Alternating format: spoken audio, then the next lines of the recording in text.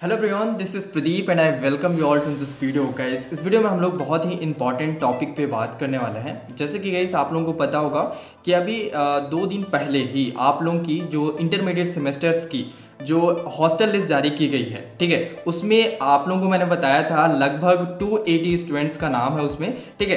तो इसमें, इस लिस्ट में जिनका भी नाम है, केवल उन्हीं स्टूडेंट्स को अभी हॉस्टल जो है आना है। बाकी अगर आप जो है इंटरमीडिएट सेमेस्टर के स्टूडेंट हो और आपका अगर लिस्ट में नाम नहीं है तो आपको जो है नहीं आना है हॉस्टल ठीक है? क्योंकि यहाँ हॉस्टल जो है अवेलेबल नहीं है ठीक है? जिसके कारण से हॉस्टल प्रोवाइड नहीं किया जा रहा है। सो so, आप लोगों को ये चीज़ें ध्यान में रखनी है कि जो भी स्टूडेंट आप लोग जो है जो इंटरमीडिएट सेमेस्टर में हो जो फॉर्म भी फिलअप किए थे उसके बावजूद आपका जो नाम है उस लिस्ट में नहीं है ठीक है? मैंने आप लोगों को बता दिया कि कैसे आप लोगों को चेक करना है। आप लोग जो है इस वीडियो को भी देख सकते हो ठीक है? इसका लिंक मैं आप लोगों को डिस्क्रिप्शन में दे दूँगा इस वीडियो के डिस्क्रिप्शन में आप लोग इस हॉस्टल लिस्ट का लिंक भी मिल जाएगा। आप लोग वहाँ से डाउनलोड करके उस लिस्ट को आप लोग देख भी सकते हो, ठीक है? तो आप लोग देख लीजिएगा। मैं एक बार और रिपीट कर देता हूँ गाइज़ जिसका भी नाम इस हॉस्टल लिस्ट में नहीं है, उनको जो है हॉस्टल नहीं आना है यूनिवर्सिटी विज़िट नहीं करना है, क्योंकि आप लोगों को जो है गेट से ही एंट्री नहीं मिलेगी, ठीक है? क्योंकि वहाँ पास सबसे पहले गेट में जैसे ही आप लोग इंटर करोगे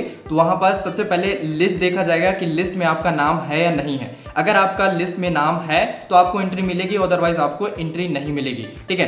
तो गर्ल्स हो या बॉयज़ अगर आपका लिस्ट में नाम नहीं है हॉस्टल लिस्ट में तो आप लोग जो है विज़िट मत कीजिए, ठीक है?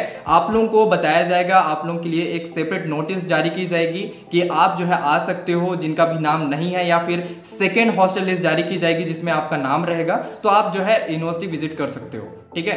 तो आई होप गाइस आप लोग को समझ में आ गया होगा। मिलते हैं गाइस नेक्स्ट वीडियो में।